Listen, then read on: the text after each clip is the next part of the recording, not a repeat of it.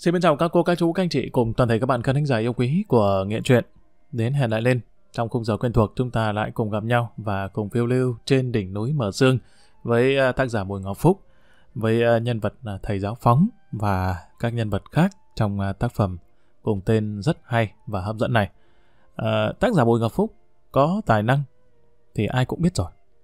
Tuy nhiên thì à, phải nói rằng là cái à, sức viết nếu như mà mà quý vị khán thính giả để ý thì cứ cứ hết một tác phẩm truyện dài chúng ta sẽ lại chờ đợi một thời gian và lại có tiếp một tác phẩm uh, truyện dài nữa. Và cũng hay như thế thì cái sức viết của tác giả Bùi Ngọc Phúc thì bản thân Đình Duy cũng phải khâm phục.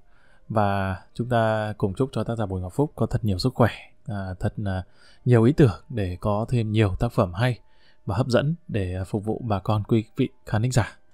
À, ngay sau đây, không để mất thêm thời gian của quý vị cùng các bạn, chúng ta cùng quay trở lại với à, uh, Mường Khén, với uh, lớp học uh, điểm trường vùng cao với thầy giáo phóng của chúng ta.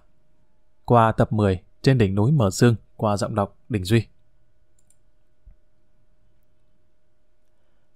Dù lốp xe hơi non, nhưng Phóng vẫn gò lưng đạp xe chở ông Thuật trên đường đi Hoàng Hoa Thám. Do là ngày nghỉ nhưng không phải phiên chợ bưởi, nên đường khá thông thoáng. Tuy nhiên, điều Phóng nhận thấy rõ sau nhiều năm sống trên núi, số lượng xe máy Honda Coupe lượn về về bắt đầu nhiều hơn. Nó khác hẳn dạo trước, đa phần chỉ có mấy ông già cưỡi xe cá xanh cá vàng. Dẫu cuộc sống còn nhiều khó khăn, nhiều nhà vẫn phải ăn cơm nộn sắn hoặc ngô. Nhưng Hà Nội vẫn có một tầng lớp sống tương đối phong lưu. Nói như bố mẹ Phóng, đó là những người giàu ngầm. Khác với mấy kẻ hay tỏ vẻ ta đây, những người này chẳng bao giờ thể hiện mình có tiền, thậm chí mua con gà hay cân thịt ngon, họ đều kín đáo. Do cuộc sống có nhiều biến động, bởi thế nhiều người sống kiểu thu mình khép kín, và luôn đề phòng kiểu tai vách mạch rừng. Vừa thấy cổng nhà máy bia Hà Nội phía trước mặt, chàng đợi phóng bóp phanh xe, vị thiền sư ngồi trên núi nùng đã nhảy xuống như sợ không nhanh sẽ chẳng còn ngụm bia để uống. Nhìn hậu duệ của vị thủ lĩnh người Thái năm xưa cởi áo cà sa kẹp nách khiến Phóng không nhịn được cười. Nếu như anh không đọc mấy câu thơ thiền khi nãy, chắc ông Cẩm Vân Thuật còn tiếp tục làm cao tăng đắc đạo trong công viên Bách Thảo hết cả ngày. Dù chưa biết chuyện gì xảy ra với ông Thuật, nhưng việc ông hướng mình vào con đường tu tập khiến cho Phóng bất ngờ. Chẳng nhẽ hôm đó trên đỉnh núi thiêng không phải ma rừng nhập, nếu vậy biết đâu chính là vong hồn của thiền sư viên tránh. Có lẽ giả thiết này hợp lý hơn cả dù sao việc thường xuyên lên đỉnh núi tiêng rồi ghé vào am sẽ phá vỡ sự tĩnh lặng nơi thiền sư an nghỉ. Chẳng tin vào chuyện thần linh ma quỷ, nhưng phóng thấy ma nào nhập vào người đều báo hiệu sự chẳng lành. Khi vài bia đã uống được quá nửa, ông thuật hào hứng khen phóng. Chú Tài thật đó, tôi tưởng thầy giáo cắm bản chỉ biết ngắm mây và núi, anh ngờ thuộc cả thơ thiền. Phóng mỉm cười giải thích. Do tại điểm trường có mấy tờ báo cũ, vì thế quanh năm em đọc đi rồi đọc lại mãi đâm thuộc lòng. Nhưng em không hiểu vì sao bác lại chọn việc tu tại gia. Chẳng nhẽ bác muốn đấu lại con ma rừng. Hai người cụng ly rồi uống một hơi cho cạn để mua thêm vải khác. Nhón tay bốc mấy hạt lạc giang trà sát cho bay vỏ. Ông Thuật xoa đầu chọc lốc của mình rồi cười với lớ. Quả thật lúc ông mặc bộ cà sa, đeo chuỗi chẳng hạt, nhiều vị sư tu tập đàng hoàng còn thua ông về vóc dáng. Do đã sẵn vóc người gầy gò, cộng thêm khuôn mặt khắc khổ, lúc nhắm mắt tọa thiền trên núi nùng, dưới ánh nắng sớm lung linh, ngắm ông chẳng khác nào những vị cao tăng đắc đạo. Chẳng thuộc nổi một đoạn kinh, nhưng ông thấy mình nhận về nhiều sự kính trọng của mọi người, điều không thể có được khi đứng cờ ngoài bài trong ở vỉa hè phố Ngọc Hà. Thấy Phóng tỏ vẻ không hiểu, ông Thuật giải thích rõ. Tớ có mà tù hú, chẳng qua bao năm mụ vợ đẻ nén, khiến mình phải tính kế. Bây giờ nếu cậu ới một câu, là tớ vác ba lô lên đó ngay. Ngồi uống bia ở nhiều nơi, nhưng ông Thuật khẳng định uống ngay cửa nhà máy bia Hà Nội vẫn ngon nhất. Ông kể cho phóng về việc đi câu mực đêm, rồi thả ngay vào nồi nước sôi giữa biển cả bao la. Con mực lúc đó ăn ngon khó tả. Chính vì thế, sau này mỗi lần đi qua quầy bán hải sản, nhìn đống cá ươn được ướp đá mang ra bán cho mọi người. Ông nói thả ăn cơm muối vừng còn ngon hơn. Có hai vại bia uống cho đỡ háo vào ngày trời thu xe lạnh. Ông Thuật cao hứng nói về những miếng ngon phải ăn tại trận, giống như quả tim lợn ngon nhất khi người đồ tể vừa moi ra, lúc đó rửa qua nước sạch phải đem chế biến ngay, mới thật toàn đại bổ. Riêng vụ ăn ốc khỉ của mấy gã người mông trên núi. Dù lắc đầu nói quá dã man, nhưng ông Thuật vẫn chê bọn nó ăn mọi. Vì thiếu nhiều gia vị kèm các loại lá, mới đúng chuẩn ăn tươi nút sống. Dù nói say xưa về những món cao lương mỹ vị, nhưng ông Thuật không quên ném từng hạt lạc giang vào miệng khi uống từng ngụm bia. Mài vui câu chuyện nên ông liên tưởng ngay, lạc luộc không thể sánh bằng lạc giang khi ngồi thưởng thức vại bia chuẩn của Hà Nội. Trong mấy khi được thư thái, ngồi ngắm bà con đi lại và nghe ông tiền sư nửa mùa bàn chuyện ăn uống, khiến Phóng buồn cười, nhưng đã ghim lại được. Trò đời thiếu gì, hay thèm cái đó, giống người thiếu tiền chỉ mong giàu. Xét cho cùng, mấy món nóng hôi hổi mà ông Thuật vừa kể ra, Phóng tin chắc ông này chưa từng được nếm thử.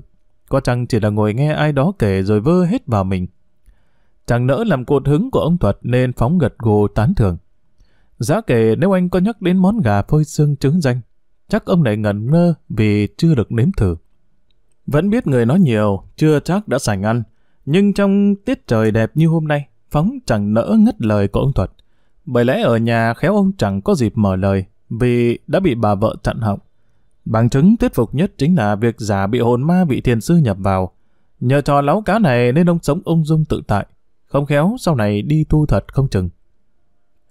Dù về mặt chính thức phóng tranh thủ thăm vợ con, nhưng lần này anh chủ yếu gặp ông Tuật để làm sáng tỏ thêm vài điều trước khi gặp gã sùng trí thầu. Do tiếp xúc vài lần cũng như sống cùng nhau gần chục ngày ở vùng rừng núi, biết ông Thuật tính vui đâu chầu đấy, nên phóng mời ra quán bia hơi khoản đãi, bởi anh muốn người đối diện có tâm trạng thoải mái nhất. Nếu không, chắc hỏi một đằng rồi nhận được một câu trả lời một nẻo. Uống đến vài bia thứ ba nên ông Thuật chẳng cần giữ ý, mặc kệ các bàn xung quanh bàn chuyện thời sự quốc tế. Ông kể lại việc mình bị ma rừng nhập, làm cho trong người nóng như hỏa diệm sơn. Chính vì thế phải cởi bỏ quần áo cho thoáng. Dù chẳng rõ con ma rừng mồm ngang mũi dọc như thế nào, nhưng ông Thuật khẳng định đầu óc vẫn hoàn toàn tỉnh táo. Duy có điều, ông chẳng thể mở lời hoặc di chuyển theo ý mình, kể cả lúc chạy băng băng xuống núi. Khi đó con ma rừng mượn xác ông để chạy. Nó giống như tài xế ngồi trên cabin rồi nổ máy phóng đi. Không biết có phải nhờ đĩa lạc giang cùng ba vại bia hay không, nhưng ông Thuận vẫn kể giọng tưng từng, chẳng hề sợ hãi. Duy có điều vì sao leo được lên đỉnh ngôi bảo tháp ngồi thiền, thì ông chẳng nhớ. Còn việc đàn quạ bay từ trên chỗ cây khô trụi lá đậu kín đặc lên người mình, ông cho rằng nhờ vậy, bản thân không bị cái rét tê tái cùng cơn mưa rừng quật ngã. Lúc chia tay nhau ở đầu phố, ông thật chợt nhớ ra điều hệ trọng nên kể lại cho Phóng biết. Đêm hôm đó, lúc ngồi thiền trên đỉnh ngôi bảo tháp, tự dưng ông thấy bức tượng của thiền sư biên tránh phát sáng như tỏa ánh hào quang. Dù ngồi tít trên cao, do đầu óc còn minh mẫn nên ông vẫn đọc được dòng chữ khắc ở lưng của bức tượng. Tự tin vào trí nhớ của mình, ông Thuật nhận cuốn sổ tay và chiếc bút mực trường sơn từ tay của Phóng, rồi viết lại dòng chữ đọc được trên lưng bức tượng của vị thiền sư. Dắt xe đạp vào nhà, Phóng tranh thủ ăn bát cơm cho đỡ đói vì uống ba vại bia căng bụng nhưng sau hai lần úp mặt gốc cây là vừa hết. Biết giờ này chắc bà ngoại đã bế cháu về bên nhà trong ngủ trưa, phóng cởi áo sơ mi rồi mang cuốn sổ ra gần cửa sổ đọc to thành tiếng. Thiệu trị tam niên, nhị nguyệt sơ tứ nhật cát thời chú tạo. Thập thành hoàng kim, trọng cửu thiên nhị, bách thập lạng cửu tiền ngũ phân. Do ngày xưa được ông nội dạy cho dăm ba chữ thánh hiền, bởi vậy Phóng nhanh chóng luận ra nội dung dòng chữ đó có nghĩa là vào giờ tốt ngày mùng 4 tháng 2 năm thiệu trị thứ ba, đúc bằng vàng, trọng lượng 9.280 lạng, 9 chỉ 5 phân. Như có lượng điện chạy dọc sống lưng, phóng giật mình bởi khối lượng vàng quá lớn. Như vậy chắc chắn không phải là vật báu kiểu như ấn vàng truyền quốc theo lời đồn đại. Với món đồ quý hiếm nặng tới 9.280 lạng vàng, như vậy việc thủ lĩnh người Thái năm xưa phải đưa quân lính của mình lên đỉnh núi thiêng là hợp lý. Trong câu chuyện tìm báu vật này, nó hiện thực cùng truyền thuyết, thực tế và tâm linh, đan xen lẫn nhau, nên nhuốm màu hư ảo. Điều quan trọng ở chỗ, ai là người đủ tài để vén đám mây mù, để tìm ra nơi người xưa chôn giấu báu vật. Nghĩ đến khối lượng vàng quá lớn, Phóng biết chắc chắn đó là đồ vô giá, khiến nhiều kẻ thèm khát. Bây giờ anh đã hiểu vì sao gã sùng trí thầu biệt đãi mình đến vậy. Tính ra số tiền và gỗ do gã người mông trao tặng, nó chỉ bằng cái móng tay của món đồ bằng vàng dòng này. Mặc dù Sùng Trí thầu luôn miệng khen phóng chữ nhiều hơn lá rừng, nhưng anh phục gã người mông lắm mưu nhiều kế, còn hơn cả mây trên đỉnh núi thiêng Pusai Nai Leng. Đứng đón vợ ngay cổng hợp tác xã, bất ngờ phóng chạm mặt lão Bích tổ trưởng, người mà vợ anh bức xúc vì hay chèn ép mình trong công việc.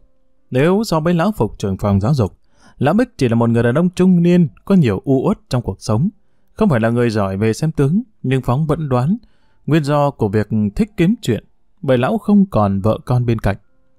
Nếu có nói nguyên nhân, chắc lão Bích hay nhiều người sẽ giấy đành đạch như đỉa phải vôi. Những cảnh cơm niêu nước lọ một mình khiến họ tức khí sinh tả trướng. Còn nói một cách dễ hiểu, chỉ cần lão này có một người phụ nữ để yêu thương, mọi việc sẽ êm xuôi. Tranh thủ lúc vợ sang bên nhà ngoại đón con, phóng thổi cơm và nghiền ngẫm về số vàng được mang ra đúc dưới thời vua Thiệu Trị. Xét về bối cảnh lịch sử, vua Thiệu Trị nối ngôi khi nhà Nguyễn đang ở giai đoạn cực thịnh. Ông là hoàng tử, con vua Minh Mạng, là cháu nội vua Gia Long, là vị vua thứ ba khi vương triều nhà Nguyễn đã thống nhất Giang Sơn.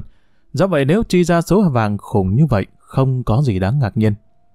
Nhưng vì sao vua Hàm Nghi lúc rời kinh thành đã thất thủ mang theo báu vật, đó là điều đáng suy ngẫm. Phụ nữ nghèo như vợ Phóng chẳng có nổi chỉ vàng cho đến khi anh mang chiếc nhẫn hai chỉ do bán mấy vách gỗ về. Tuy nhiên lúc Phóng ướm hỏi về số lượng 9.280 lạng vàng dùng được việc gì, không cần suy nghĩ nhiều, vợ anh đã khẳng định. Chắc chắn đó là số vàng mang ra đúc tượng. Còn việc đúc tượng ai, chỉ có nhìn thấy được mới rõ. Dù chưa biết pho tượng vàng trôn giấu nơi đâu, nhưng Phóng tạm hài lòng với những gì tìm hiểu được. Nó xứng đáng với chiếc tủ ly bằng gỗ rồi, cùng mấy chục đồng anh được gã sùng trí thầu trả công. Dù gã người mông chẳng hề biết chữ, nhưng trong tâm tâm Phóng vẫn phục gã đó vì đã vận dụng tài tình câu, đồng tiền đi trước là đồng tiền khôn. Không ăn sổi ở thì như lão sập, gã người mông đã nói sổ tuệt việc chẳng thiếu người mang cơm đen thẩm lậu về xuôi. Điều rất cần ở Phóng là cái đầu biết suy nghĩ. Buổi tối nằm chơi cùng con trai, Phóng ngắm vợ lau cánh tủ ly, bỗng bật cười, bởi tối nào đợi con trai bú no, vợ anh sẽ lấy chiếc rẻ để lau tủ cho sạch bụi. Có lẽ đây là món đồ có giá trị, nên được nâng niu gìn giữ. Nhưng nếu sau này trong nhà chất đầy những món đồ khác, lúc đó sự hào hứng chẳng còn như trước. Nhớ đến khuôn mặt hãn tài của Lã Bích, nên Phóng suy nghĩ về những kế hoạch do vợ mình thủ thỉ đêm qua. Đúng là rời bỏ hợp tác xã sẽ mạo hiểm khi đang nuôi con nhỏ. Nhưng nếu không thử sao biết được có thành công hay không. Duy nhất một điều Phóng đang băn khoăn, nếu chỉ trông vào dăm bìa đậu, khéo việc kiếm tiền còn khổ hơn là gò lưng may quần áo. Lúc hai vợ chồng nằm bên nhau, Phóng nhẹ nhàng phân tích những gì đã cân nhắc. Nhưng quyết định cuối cùng vẫn do vợ quyết định. Em không muốn nhìn mặt lão Bích thì xin chuyển sang tổ khác. Còn nếu bán đậu phụ ngoài chợ mơ, theo anh làm luôn gánh bún ốc ngồi đầu làng là tốt nhất. Nhưng đang nuôi con nhỏ bán hàng ăn sẽ vất vả hơn rất nhiều. Em sợ mình không kham được. Đêm khuya thanh vắng, nằm trong buồng nhưng Phóng vẫn nghe rõ nhạc hiệu và tiếng người phát thanh viên của Đài Tiếng Nói Việt Nam thông báo chương trình Tiếng Thơ. Phóng hứa dù chưa đủ tiền mua vô tuyến, nhưng cuối năm anh sẽ tặng vợ một chiếc đài radio nghe đủ các chương trình. Nó khác hẳn cái loa truyền thanh bên nhà ông bà ngoại của cô Thăng Long. Vất vả cả ngày bên máy khâu, sau đó về nhà chăm con chẳng lúc nào ngơi tay. Do vậy lúc Phóng quay sang đã thấy vợ mình ngủ ngon lành. Chỉ cần ở nhà một ngày, Phóng đã hiểu bận như con mọn là thế nào. Bình thường anh thường xuyên vắng nhà nên gánh nặng chút sang vai người vợ Tào Tần. Dẫu biết bà ngoại đỡ đần cho nhiều, nhưng đó chỉ là giải pháp tình thế. Bởi vậy Phóng quyết tâm kiếm thật nhiều tiền nhằm giảm thiểu khó khăn cho vợ con đỡ khổ. Không sao ngủ được dù ngày mai đã phải lên trường. Con số 9.280 lạng vàng là 9 chỉ 5 phân, khiến Phóng bàng hoàng. Có lẽ cả đời dạy học của anh với đồng lương còm cõi không thể ngờ có thể đào được một số lượng vàng lớn đến vậy. Chưa kể nó còn mang dấu ấn lịch sử nên giá trị món cổ vật còn tăng lên gấp bội phần. Dù biết số vàng đó nếu đào được, phần lớn thuộc về sùng trí thầu. Nhưng Phóng biết, gã người Mông chẳng phải người hẹp hòi, nên anh hy vọng sẽ được trả công xứng đáng. Ngồi lặng lẽ bên cửa ngách hút thuốc, Phóng đã hiểu vì sao người ta lóa mắt vì vàng. Bởi chúng là thứ kim loại có sức hút kỳ lạ. Chính nhờ giá trị quá cao, nên sùng trí thầu dồn công sức để tìm bằng được báu vật của nhà vua. Phóng không biết lúc nghe nói về trọng lượng vàng như vậy, gã người Mông có sướng đến mức tặng luôn anh cả xe gỗ mang về xuôi bán. Biết đâu lúc đó anh có tiền sắm đủ mọi thứ theo kế hoạch. Trong suy nghĩ của mình, Phóng muốn được chia phần xứng đáng. Có như vậy anh mới đủ dũng khí về bường khén, lôi cổ con dê già béo híp mắt ra, đập cho một trận. Nghĩ đến việc nói chuyện với lão Phục bằng nắm đấm, Phóng biết mình sẽ bị đuổi khỏi ngành giáo dục. Nhưng lúc đã có một số vàng đủ nhiều, anh sẽ chuyển sang kinh doanh cá thể, khỏi sống trong cảnh mòn mỏi đợi lĩnh từng đồng lương còm. Đã lâu rồi không còn ví mình như giáo thứ trong tác phẩm của nhà văn Nam Cao. Bằng sự quyết tâm của mình, Phóng muốn vượt khỏi cuộc sống tù túng, vì thực tế cuộc sống hiện nay khác xưa. Mọi lựa chọn đều cần đến sự dũng cảm và dám đổi thay. Không giống như trên vùng cao, đêm khuya ở đây có nhiều âm thanh sống động. Nó phản ánh một phần cuộc sống mưu sinh lam lũ.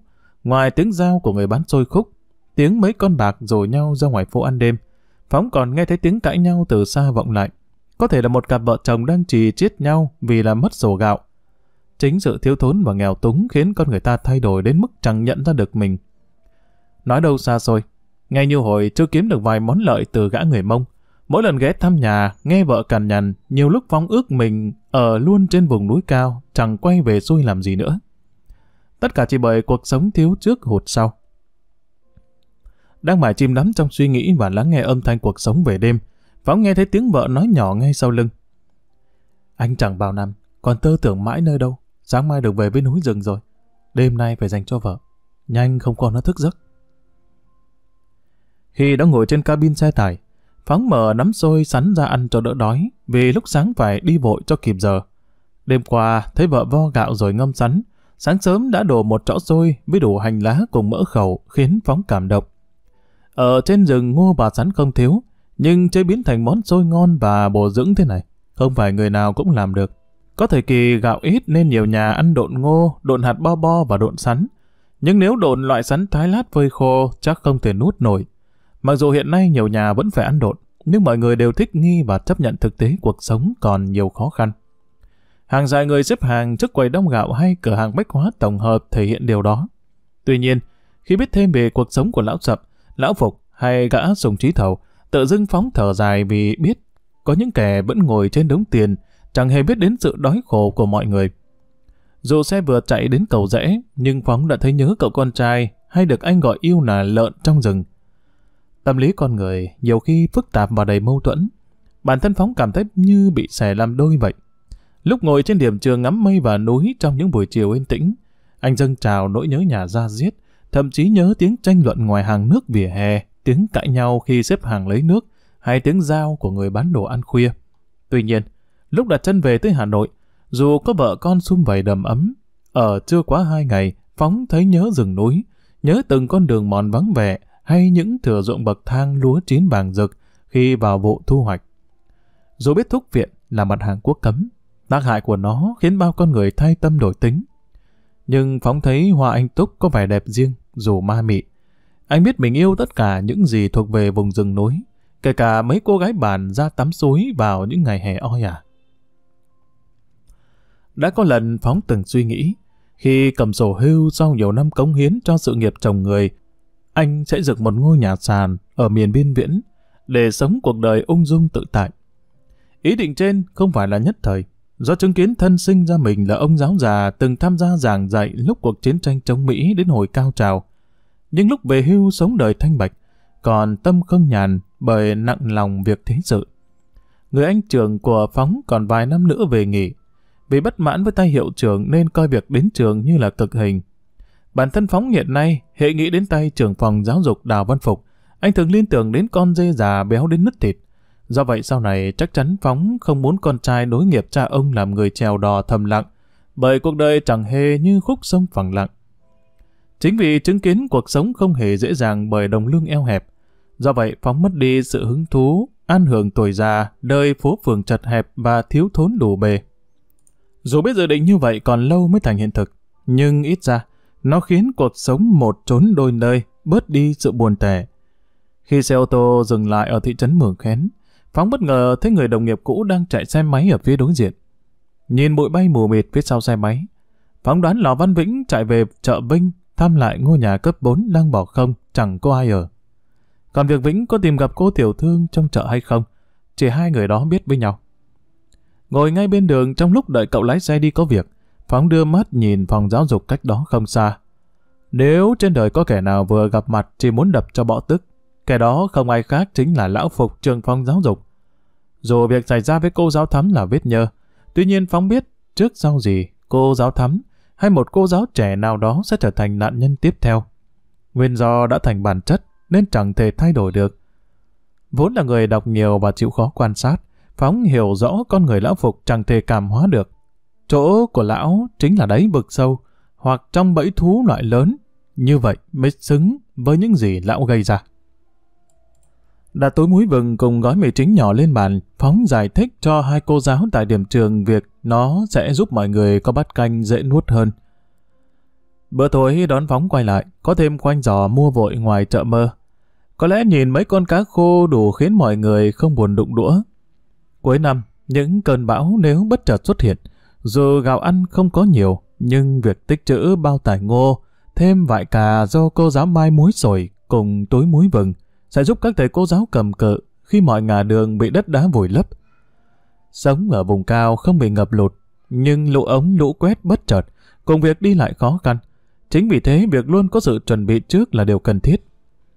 Thời gian sắp bước sang năm mới chẳng còn nhiều, nhưng ngoài phóng do được làm bố nên mong ngóng được nghỉ Tết, còn về. Cô giáo Mai hay cô giáo Thắm hình như chẳng bận tâm nhiều. Năm nay cô giáo Mai, với tư cách là phụ trách điểm trường có hứa, gần Tết cô sẽ quay về mường khén, vận động công đoàn giáo dục và các cấp chính quyền có túi quà động viên đội ngũ giáo viên cấm bản. Chẳng biết lời hứa có thành hiện thực hay không, nhưng Phóng chưa từng có cảm tình với túi hàng Tết được mua phân phối khi Tết đến xuân về. Dẫu biết ngày Tết theo truyền thống, già được bắt canh, trẻ manh áo mới, nhưng nhiều nhà phải thắt lưng buộc bụng trước vài tháng. Mọi khoản chi tiêu đều trông vào việc bán đàn gà lứa lợn tăng ra được. Cánh tiểu thương nhìn vào việc bốc bắt họ thêm đồng ra đồng vào. Quay về với không gian chỉ có rừng núi mờ sương răng khi trời sầm tối. Không khí trên này luôn lạnh hơn dưới xuôi vài độ. Do vậy, Phóng cẩn thận lấy chân bông khỏi túi đựng đặt cuối rừng. Phòng khi lạnh quá còn đắp được ngay. Từ ngày thầy Vĩnh bỏ dậy, căn phòng vẫn như vậy, nhưng chiếc giường trống được phóng dùng làm nơi để những đồ của mùa đông. Ngày trước khi có hai người trung phòng, mọi thứ chưa dùng đến đều phải buộc rồi đặt trên ba cây tre vắt trên cao nhằm tiết kiệm diện tích. Chưa có hứng nghe tin tức từ chiếc đài radio từ phòng các cô giáo vọng sang. Phóng mặc thêm áo khoác rồi bước ra ngoài ngồi hút thuốc một cách lặng lẽ. Không phải là người vì tiền sẽ bất chấp tất cả cũng chưa từng dùng thủ đoạn hay mưu hèn kế bẩn. Do vậy Phóng chẳng rõ gã sùng trí thầu sẽ phản ứng thế nào khi biết đích xác quy mô và trọng lượng của số vàng được chôn giấu trên đỉnh núi thiêng. Điều khiến Phóng lo sợ bây giờ nếu thông tin về số vàng đó lan ra ngoài, cả vùng rừng núi sẽ chẳng còn được phút giây yên tĩnh. Lúc đó khéo mấy gã người mông, dù thông tạo địa hình chẳng thể ngăn cản được dòng người đổ về tìm vận may. Đã nhận tiền, nhận gỗ, đem bán lấy vàng. Chưa kể những lần về xuôi hay quay lại đây, Phóng đều được cho đi nhờ chẳng mất xu nào. Do vậy, những gì Phóng biết đương nhiên phải cung cấp cho sùng trí thầu. Dù không phải dân giang hồ, nhưng Phóng hiểu rõ câu. Lời nói, đọi móng. Anh chẳng thể tham vàng đến mức mờ mắt quay ra bội tín được. Đó chưa bao giờ là sự lựa chọn lối sống của Phóng. Hút gần hết điếu thuốc, cô giám mai mở cửa phòng bên lại gần, nói nhỏ với Phóng. Chị đoán chắc thấm ngén rồi. Vậy phải làm sao? Nhớ lại thái độ hèn nhát của bà giáo lớn tuổi chỉ muốn yên thân do sắp về hưu. Căm hận con dê già béo nứt thịt là lão phục. Tự dưng phóng bực tức nói. Bữa nỡ o bật cho cấy chữa mặt lão phục là khỏe. Nghĩa là hôm đó chị đập cho phát giữa mặt lão phục là xong. Thầy thông cảm, chị đã lo sợ nhiều quá, ngộ nhỡ. Không muốn nghe trình bày cái sự hèn nhát của cấp dưới trước việc làm bị ổi của cấp trên. Phóng đứng dậy phủi đít quần bước vào trong buồng. Anh không quên buông một câu. Đây quẹt khu. Đã lâu rồi, hợp tác xã lâm sản vùng cao lại có cảnh người và xe tấp nập. Những xe tải vào ăn hàng rồi chuyển về xuôi. Có xe chạy qua cửa khẩu sau nào. Mặt hàng lâm sản không phong phú như nhiều nơi khác. Ngoài những cây gỗ không thuộc nhóm quý hiếm và được khai thác, hàng hóa có thêm những can đựng mật ong rừng, những bao tải ngô vốn được chế biến làm thức ăn cho gia súc. Do không biết chữ nên vị chủ nhiều hợp tác xã do một người khác đứng tên giao dịch. Tuy vậy, Sùng Trí Thầu là người có toàn quyền ra quyết định. Vị chủ nhiệm nhất nhất làm theo lệnh của gã. Ngồi ngay giữa căn phòng được dùng làm nơi tiếp khách, bên cạnh là hai căn nhà kho, nhưng chẳng có hàng hóa giá trị, vì nguồn cung luôn thiếu. Sùng Chí Thầu đưa mắt nhìn đoàn xe tải rời xã Na Ngoi để chạy về thị trấn Mường Khén. Sau đó cánh lái xe xuôi về quốc lộ 1A, rồi nhằm hướng Ninh Bình thẳng tiến Hồi trước sau khi cướp được 43 thuốc viện của gã hổ mang chúa Phong Tha Vong, do số lượng quá lớn, vì thế Sùng Trí Thầu sai đàn em tách những cây luồng rồi nhét thuốc viện vào. Vốn trực tiếp ôm hàng quốc cấm về xuôi nhiều lần, gã thừa biết, một ba lô đựng thuốc viện giỏi lắm được chục cân, nhưng nguy cơ bị công an tóm cổ rất cao. Do vậy gã tính kiểu khác. Người ta nói vỏ quýt dày có móng tay nhọn. Nhiều kẻ buôn hàng quốc cấm bị các lực lượng chức năng chặn bắt dù ngụy trang tinh vi đến đâu. Bởi thế mỗi lần đánh hàng về xuôi thành công, Sùng Trí Thầu lệnh cho lũ đàn em nằm im một thời gian để nghe ngóng tình hình. Ngồi nhìn về phía bàn người Thái, tự dưng Sùng Trí Thầu ngạc nhiên bởi lão Vi Văn Sậm bao năm nay tay nhúng tràm vẫn được tín nhiệm bầu làm trưởng bàn. Điều này chứng tỏ lão đó là con cáo già. Cùng là những kẻ tổ chức buôn hàng quốc cấm.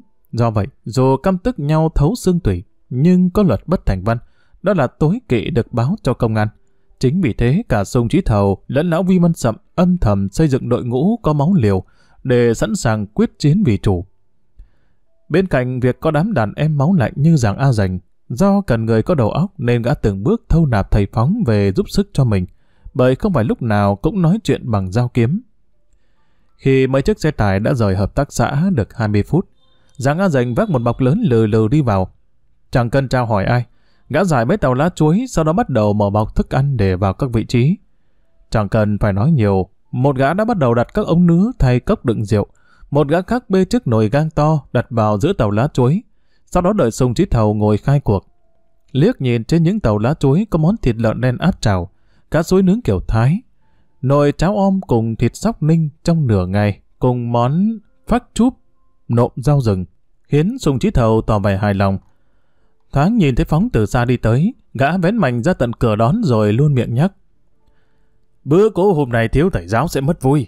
Tao sai thằng A Linh ngồi đợi ngay bên ngoài lớp học vì sợ thầy ăn cơm độ no bụng thì tiếc. Ở trên vùng rừng núi gần chục năm, do vậy dù Sùng Trí Thầu nói tiếng Kinh hay tiếng Mông, thậm chí cả tiếng Thái thì Phóng đều hiểu. Hồi đầu chưa quen cách ăn uống trên này nên Phóng có phần e ngại. Nhưng lâu dần, anh biết cách nhập ra tùy tục khi hòa mình vào cuộc sống của dân bản. Có như vậy, công tác dân vận, vận động cho trẻ đi học mới được phụ huynh ủng hộ. Không giống như dưới xuôi, mọi người hay nói, chăm sự nhờ thầy cô giáo. Ở trên này nhiều gia đình chưa ủng hộ việc cho trẻ đến trường. Điển hình là mấy gã người Mông đang ngồi đợi lệnh uống rượu. Mấy đứa trẻ ở nhà chưa một ngày biết đọc biết viết, rồi được vận động đi học. Sau khi nốc cạn chỗ rượu đựng trong ống nứa, Sùng Chí Thầu đưa tay giới thiệu cho phóng bữa cậu hôm nay là kết hợp những món ngon của người Thái, Mông và Khơ Mú. Dù chẳng cần gã người Mông giới thiệu, Phóng có thể phân biệt rõ những món ngon của từng dân tộc. Riêng món sóc ninh, nửa ngày, được người Khơ Mú gọi là món canh ột ăn có vị cay. Tuy nhiên, con sóc do giảng A dành bẫy được, gã không hẳn chế biến kiểu bà con Khơ Mú, dù có ninh nửa ngày, bởi trong quá trình đó gã thêm nắm gạo nếp cùng chút đậu xanh theo kiểu người kinh. Ngày đầu đông giá lạnh, ngồi ăn các món đặc sản của đồng bào dân tộc khiến Phóng nhớ đến việc cô giáo thắm bắt đầu xanh xao do ốm nghén. Trước sự ngạc nhiên của mấy gã người Mông, Phóng lấy một ống nứa to rồi dùng chiếc môi bằng gỗ chậm rãi múc trong nồi gang to cái thứ cháo sền sệt, được hầm cùng thịt sóc mất nửa ngày. Khi đã múc đầy ống nứa rồi thả thêm mấy miếng thịt lợn và đậy lại bằng lá chuối. Phóng nói rõ mình mang về cho cô giáo thắm đang có chửa nhưng ăn uống kham khổ quá, sẽ không tốt cho cả mẹ lẫn con. Dù cùng cánh phụ nữ với nhau, nhưng cô giáo Mai nói đưa Thắm về thị trấn Mường Khén nạo thai. Nhưng cô giáo Thắm không nghe. Người ta nói kết tuổi nó đuổi kết xuân.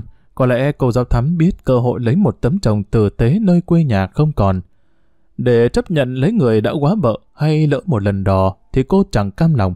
Tuy nhiên, điều khiến Thắm không ngại bị kỷ luật bởi cô tin chắc nếu trái nhà sẽ lòi ra mặt chuột nên thách cả tổ ong rừng đã phục không dám xử lý kể toàn bộ câu chuyện cho mấy gã người mông. Dù chẳng mong cô giáo thắm đủ dũng khí, đâm con dê già béo nứt thịt bằng con dao găm mình đưa cho. Nhưng Phóng hy vọng mấy gã người mông sẽ ra tay trừng trị, dù anh không cất tiếng nhờ vả. Dù thích uống rượu, ăn thịt và hút thuốc viện, nhưng Sùng Trí Thầu vẫn lắng nghe Phóng bạch tội lã phục một cách chăm chú. Sau đó gã buông lời nhận xét bằng tiếng mông. Đại ý nói lão phục ác hơn con cọp trong rừng, con rắn độc trên triền núi, Tuy trời lão phục bằng cả tiếng mông pha lẫn tiếng kinh, nhưng Sùng Trí Thầu không nói đến việc trừng phạt lão đó. Gã đưa ra một đề xuất khiến phóng kinh hoàng. Theo tao, thấy con thắm hay bảo rừng ăn nắm lá ngón, như vậy đỡ khổ mẹ cha, lại chẳng kêu than nữa. Phóng cầm cốc nước đựng loại rượu ngô đặc trưng của người Mông, nhấp bột ngụm rồi bực mình nói. Miệng mày nói còn độc hơn cả nọc con khô mộc xà trên triển núi. Dù không có cảm tình với câu nói chẳng có tính người của gã người Mông, tuy vậy, Phóng vẫn đủ tỉnh táo để biết, nhờ có gã này nên cuộc sống khốn khó của anh tạm chấm dứt. Chẳng mong vào sự ban đơn của lão Phục. Ngay từ lúc được đi nhờ về xuôi một cách thuận tiện, Phóng quyết tâm cùng sùng trí thầu tìm bằng được kho báu, dẫu có vạch từng ngọn cỏ từ dưới khu rừng lên tận đỉnh núi thiêng.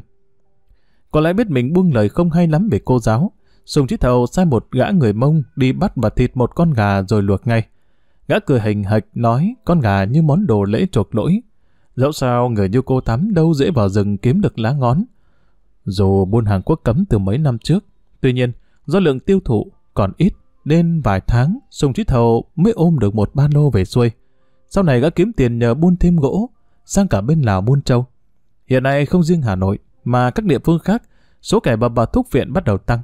Có lẽ do thời bom rơi đạn nổ đã qua, nên người ta dễ nhiễm thói hư tật xấu. Tuy nhiên không như mấy kẻ buôn hàng quốc cấm khác, Sùng Chí Tàu không mở rộng địa bàn hay thu nhận thêm các đầu mối. Gã vẫn bán cho những mối quen và dành thời gian cho việc tìm vật báu trên đỉnh núi thiêng chưa biết giá trị của những thứ mình sẽ tìm được. Tuy nhiên, Sùng Chí Thầu nhầm tính số tiền hay vàng thu được bằng gã buôn cơm đen cả 10 năm cộng lại. Chính vì có niềm tin sắt đá như vậy, gã không tiếc tiền chi cho thầy giáo phóng. Có như vậy, thầy giáo mới toàn tâm lo việc không hề dễ dàng này. Khi đã cơm no rượu say, Sùng Chí Thầu đuổi mấy thằng đàn em về bàn trước, chút gã tự chạy con xe máy ghẻ lờ về sau. Lúc trong căn phòng chỉ còn hai người, Gã chăm chú nghe phóng trình bày những điều tìm hiểu được, cũng như các vị trí hiện nay nghi là nơi chôn giấu báu vật của vị thủ lĩnh người Thái. Sùng Chí Thầu đang ngồi bó gối giữa phòng, lúc nghe phóng đọc câu Thập thành hoàng kim, trọng kiều thiên nhị bách thập lạng kiều tiền ngũ phân. Sau đó giải nghĩa luôn, đúc bằng vàng, trọng lượng 9.280 lạng 9 chỉ 5 phân. Gã bất ngờ nhảy dựng lên y như bị con rắn hổ mang cắn vậy. Dù một chữ bẻ đôi không biết, nhưng khoản mấy ngàn lạng vàng đương nhiên đã ghim ngay vào tâm trí của gã. Không còn nghe hời hợt như trước, Sùng Chí Thầu hỏi dồn dập phóng. Vậy 9.000 lạng vàng đó tầm bao nhiêu cân? Tao nghĩ chắc phải nặng bằng con lợn mán. Ngày xưa dù học làm giáo viên dạy tiếng Việt, tuy nhiên Phóng học giỏi môn toán, nên anh cầm chiếc bút máy Trường Sơn bắt đầu làm phép tính. Theo kinh nghiệm cho thấy, vàng thời trước thường chỉ có 75%, như vậy còn lại 25% là các hợp kim khác chứ không thuần khiết như những lá vàng kim thành hiện nay. Ngồi làm phép tính, một lạng vàng tương đương với 37,5 gram, nhỏ hơn tem mua lương thực 50 gram một chút. Sau khi nhân và cộng một cách cẩn thận và quy ra kg cho tiện, phóng thông báo. 9.280 lạng vàng, tương đương với 348 cân, nghĩa là bằng con trâu mộng hồi mày sang Lào mua về.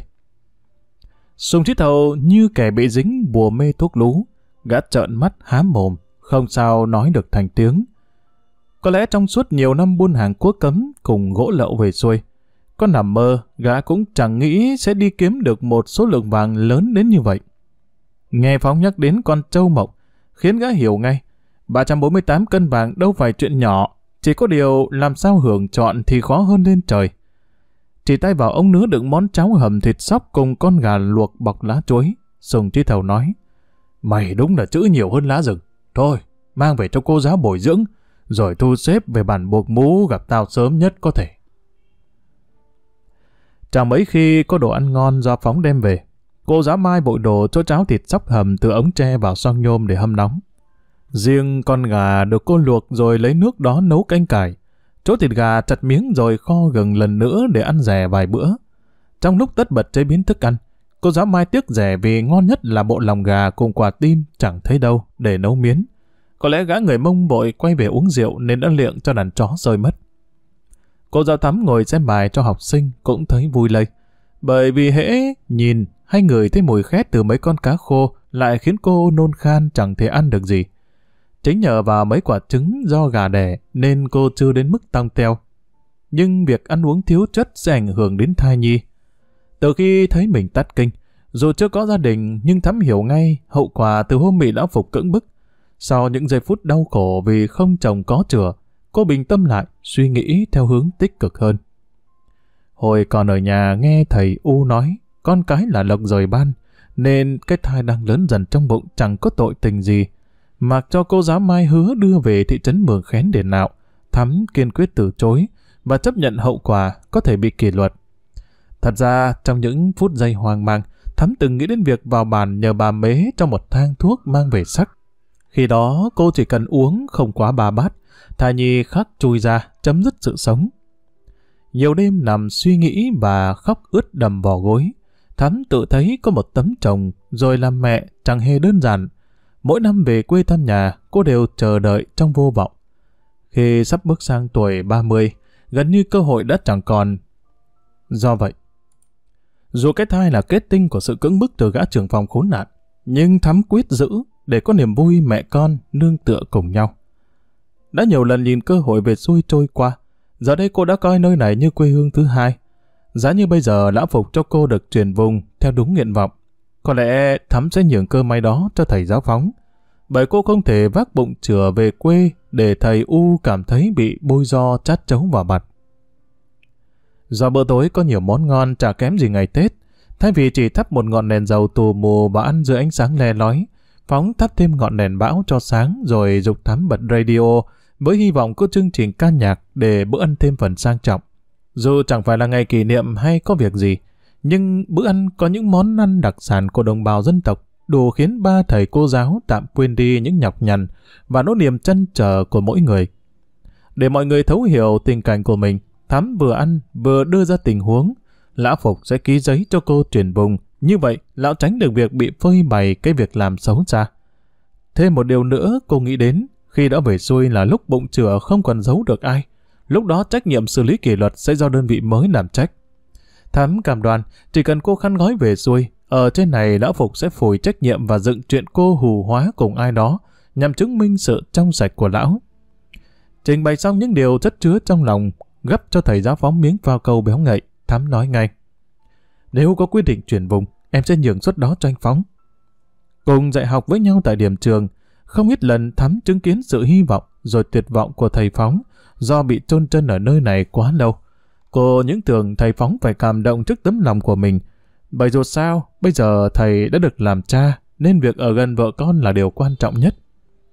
Chẳng như suy nghĩ của Thắm, nghe xong việc sẽ được nhường suất về xuôi, thầy giáo Phóng lắc đầu nói một cách đầy kiên quyết. Lã Phục có tặng thêm một xe gỗ kèm quyết định cho chuyển vùng, thì anh cũng chẳng về xuôi nữa. Khi đã ăn xong bữa tối, đợi cho hai cô giáo về phòng của mình, lúc này Phóng đặt cây đèn bão lên bàn rồi chốt cửa lại. Anh muốn dành thời gian để xem lại những gì đã ghi chép. Vốn là người chỉn chu và cẩn thận, Phóng đã vẽ phác họa và ghi chép làm hai bản khác nhau. Một bản anh giao cho Sùng Trí Thầu đúng như cam kết, bản còn lại anh giữ cho riêng mình phòng khi gã người Mông làm mất. Với một kẻ không biết chữ như Sùng Trí Thầu, mấy bản phác họa chưa chắc đã được gã coi trọng bằng con số 9.280 lạng vàng. Bởi đó chính là điều khiến gã phải lao tâm khổ tứ. Mặc dù chưa tìm thấy nơi trôn giấu, tuy nhiên là người có lòng tự trọng nên Phóng đã thở vào nhẹ nhõm khi cung cấp cho Sùng Trí Thầu những thông tin quan trọng. Như vậy nó xứng đáng với những gì anh đã nhận từ gã người mông đó. Lúc ban nãy khi quả quyết mình sẽ không về xuôi dù có thêm cả xe gỗ, đó là những lời nói thật lòng của Phóng. Người ta nói trồng cây sắp đến ngày hái quả. Anh biết mình vất vả bấy lâu không thể đơn giản quay về thủ đô là một thầy giáo với đồng lương ba cọc ba đồng, chẳng đủ chi tiêu tròn tháng. Hễ nghĩ đến cảnh giật gấu vá vai của những đồng nghiệp, tự bản thân Phóng thấy mình còn may mắn chán. Dù hai bức phác họa giống y chang nhau, tuy nhiên, với bản tính của Sùng Trí Thầu cùng mấy gã người Mông, Phóng tin chắc bọn họ sẽ sục sạo trên đỉnh núi thiêng ngay lập tức bất kể thời tiết bắt đầu giá lạnh. Cả ngày được ăn ngon khiến đầu óc thư thái, cộng thêm mấy bao thuốc lá sông cầu vừa mua đem lên. Phóng châm lửa hút thuốc, bắt đầu xem xét kỹ lại những chỗ đánh dấu bằng bút mực tím và mấy nơi đã khoanh tròn bằng bút mực đỏ. Đáng ra, để hoàn thiện bức họa đồ, Phóng cần thêm một thời gian nữa để thêm chi tiết và kỹ càng. Tuy nhiên do gã sùng trí thầu sốt ruột vì sợ lão Vi Văn Sậm đi trước một bước, nên Phóng đành giao bản thô. Anh biết mình cần thêm thời gian, và ít nhất phải lên đỉnh núi thiêng vài lần nữa. Đúng như giai đoạn cuối thu đầu đông, khi những cơn gió lạnh tràn về khiến cả vùng rừng núi chìm sâu trong băng giá. Thời tiết thay đổi nhanh đến ngỡ ngàng, báo hiệu mùa đông đã gõ cửa. Dù mặc đồ áo đơn lẫn áo kép, còn quàng thêm tấm chăn chiên, nhưng rốt cuộc không chịu được lạnh. Vì thế Phóng nhặt mấy thanh củi trong gầm giường bắt đầu đốt lửa sưởi ấm. Với kinh nghiệm của mình, Phóng biết ngày mai mở cửa phòng nhìn ra ngoài, tất cả màu xanh sẽ biến mất thay bằng một màu bàng bạc. Thời điểm từ nay đến Tết, châu bò phát cước và chết nhiều. Do vậy món thịt trâu gác bếp sẽ trở thành đặc sản khi được mang về dưới xuôi. Trời lạnh thấu xương nên phóng cầm bút đến lập cập. Anh quyết định mang cuốn sổ ngồi bên chỗ củi đang cháy và hơi tay cho ấm. Lúc này, con số 9.280 lạng vàng chính là động lực khiến cho Phóng chịu thức khuya để tính toán kỹ càng. Chưa rõ gã sùng trí thầu sẽ chi cho mình bao nhiêu khi tìm ra nơi chôn giấu, nhưng Phóng tin chắc đó là số vàng không nhỏ, đúng như câu người xưa hay nói. Nghèo thì lâu, còn giàu trả mấy nỗi. Quý vị và các bạn thân mến, chúng ta vừa theo dõi hết tập 10 của tác phẩm truyện Trên đỉnh núi Mờ Sương. Rất cảm ơn sự chú ý đón nghe theo dõi của quý vị cùng các bạn. Hẹn gặp lại quý vị cùng các bạn trong tập 11. Còn bây giờ Đình Duy xin chào. Chúc quý vị khán giả có một đêm thật ngon giấc.